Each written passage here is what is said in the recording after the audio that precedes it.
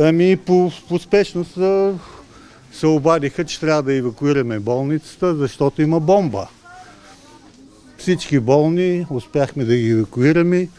Кой, болни кой, кой с колички, кой така. И имаме, което беше най-лошо, много тежко.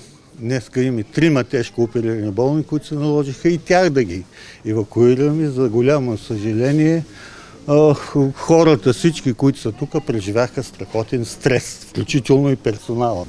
Три часа, три без пет някъде явно се е обадил човека, който казва, че има бомба в отделението на втори блок. Втори блок, те са няколко отделения. Аз съм от коремна хирургия, от операционната. Бомбата била долу в подземието. И веднага ни се обаждат по телефона, ако можем по най-бързия начин да се изнесем. Просто аз съм как да кажа, много притеснена и толкова бързо се изнесахме всички. Това са 9 етажа. От тези 9 етажа има две операционни, болни. Всичките успяхме за половин час да ги изнесем. Изнесахме ги хората, настанихме ги тук в трети блок, както ни бяха наредили.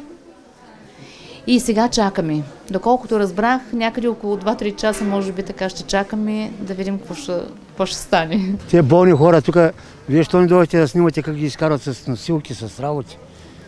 Много, много хора ли евакуираха от болницата? Не, много разбира се. Целият блок.